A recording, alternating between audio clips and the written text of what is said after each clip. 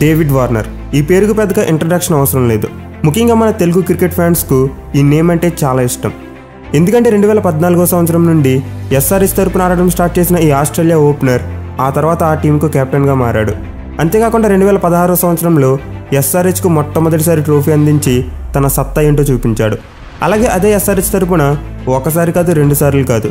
ఏకంగా మూడు సార్లు ఆరెంజ్ క్యాప్ గెలుచుకుని తన బ్యాటింగ్ పవర్ చూపించాడు.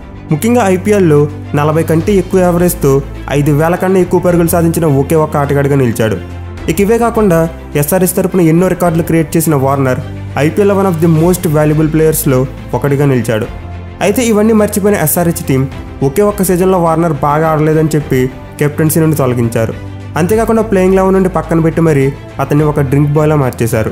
మిడిల్ ఆర్డర్లో ఎన్నో లోపాలున్నా కానీ అంతా తానే బ్యాటింగ్ చేసి ఎస్ఆర్హెచ్ని ఎన్నోసార్లు వంటి చేత్తో గెలిపించిన వార్నర్ను ఆ టీం లైట్ తీసుకుంది. ఒక ఛాంపియన్ ప్లేయర్ కన్నీరు పెట్టుకునే స్థాయికి దిగజార్చింది. సో ఇదంతా అయితే ఈ సీజన్లోనే మనం కల్లారా చూసాం. అయితే వార్నర్ తనకి జరిగిన అవమానానికి తన బ్యాట్తోనే సమాధానం చెప్పాడు. ఎలాంటి అంచనాలు లేకుండా ఈ ఏడాది వరల్డ్ కప్ ఆడిన అతను నెక్స్ట్ లెవెల్ బ్యాటింగ్ చేశాడు.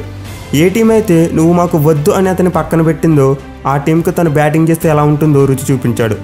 ఈ ఏడాది టీ ట్వంటీలో కేవలం twenty five percent win rate ఉన్న ఆస్ట్రేలియా టీంకు వరల్డ్ కప్ అందించాడు నిజంగా ఈ వరల్డ్ కప్ ఆస్ట్రేలియా గెలుస్తుందని ఎవరూ ఊహించలేదు.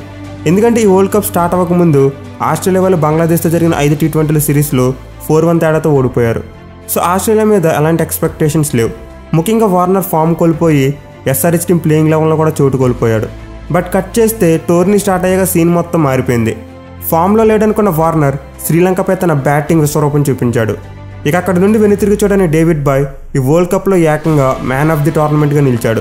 కేవలం ఏడు మ్యాచ్ల్లోనే రెండు వందల ఎనభై తొమ్మిది పరుగులు సాధించి ఆస్ట్రేలియా విజయాలలో కీలక పాత్ర పోషించాడు. ముఖ్యంగా సెమీఫైనల్ మరియు ఫైనల్లో వార్నర్ ఆడిన నాక్స్ ఆ టీం కప్ గెలవడంలో కీ రోల్ ప్లే చేశాయి. సో ఇలాంటి వార్నర్ని అయితే ఎస్ఆర్హెచ్ తమ టీం నుండి తీసేసి అవమానించింది. మరి ఎప్పటికైనా ఆ ఫ్రాంచైజ్ కళ్ళు తెరిచి వార్నర్ను రీటైన్ చేసుకుంటే బాగుంటుంది. లేకపోతే ఎస్ఆర్హెచ్ ఫ్యాన్ బేస్ సగం వరకు ఖాళీ అయిపోతుంది. ఇది మాత్రం పక్క. ఇక ఏది ఏమైనా డేవిడ్ బాయ్ మరోసారి form is temporary but class is permanent అనే కోట్ను తన బ్యాటింగ్తో నిరూపించాడు.